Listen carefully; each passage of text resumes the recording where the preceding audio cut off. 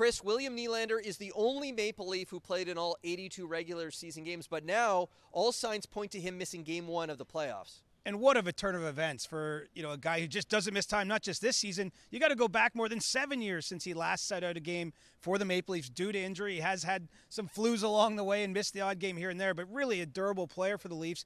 And he wasn't playing with anything down the stretch. I'm told that this is something that, that cropped up even after playing those last two games, Tuesday, Wednesday, back to back in Florida and Tampa. He woke up in Tampa on Thursday morning in some discomfort, feeling stiff. Uh, didn't skate Friday, didn't skate here this morning, and so it really does not look likely that he's going to be in. If there's one silver lining, though, it, it, does sound as though if he does miss time, it's not expected to be a long-term absence. But you know, there's no good time to be injured. This is the worst time to be injured if you're someone uh, who has just been as consistent and durable as William Nylander. I, I, can tell you, covering Nylander's entire career, this is he's a rink rat. He loves being on the ice, even on optional practice days. He's out there working on his craft. So it sure stood out that he wasn't able to get on the ice yesterday or even this morning, at least to take a bit of a twirl. We'll wait and see on his status moving forward. If he's not in tonight, who has to step up?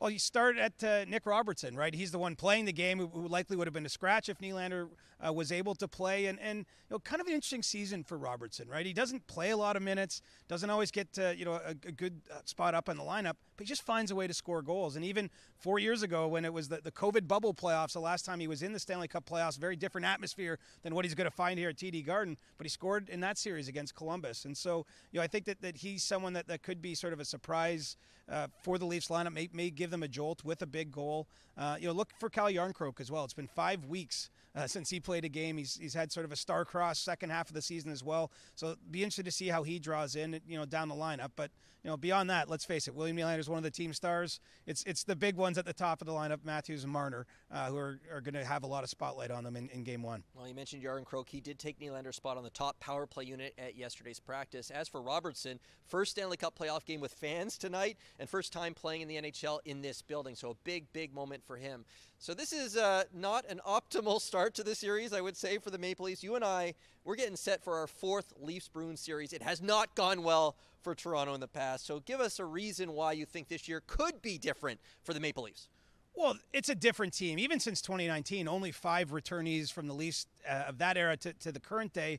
And the most important thing, I think, is the guys I mentioned, Matthews, Marner, these guys are older now. Like these are established players who know what they're doing. We've seen Auston Matthews in particular took a step with his game, in my opinion, to a level he had never previously been at. And this is someone who's won a Hart Trophy a couple years ago. And so this is a, a, a very different Leafs outfit. I understand if you're in the fan base or you know even an observer like us, it feels the same for us. But I, it's not the same Leafs team. It's not the same Bruins team either, right? They've they've moved on from Patrice Bergeron, David Krejci retiring after last season. Zdeno Chara is no longer here. Tuukka Rask is no longer here. I mean, real pillars of the teams that beat the Leafs uh, in the past are, are gone, and, and they've had a fantastic regular season. But I just don't think on paper they're the same team that they used to be. But look, the game's decided on the ice. Uh, I certainly do think, though, the Leafs have their, probably their best chance if you look at those series individually uh, to, to dispatch the Bruins. Yeah, a lot of new faces on this Leafs team, including Joel Edmundson. Not everyone has bad memories in this building on this Leafs team. Edmundson won a Stanley Cup here with the St. Louis Blues back in 2019, and he said this morning as he was getting set for game one, he took a moment to come out here, look around, soak it in, relive some of those good memories. We'll see if it helps him tonight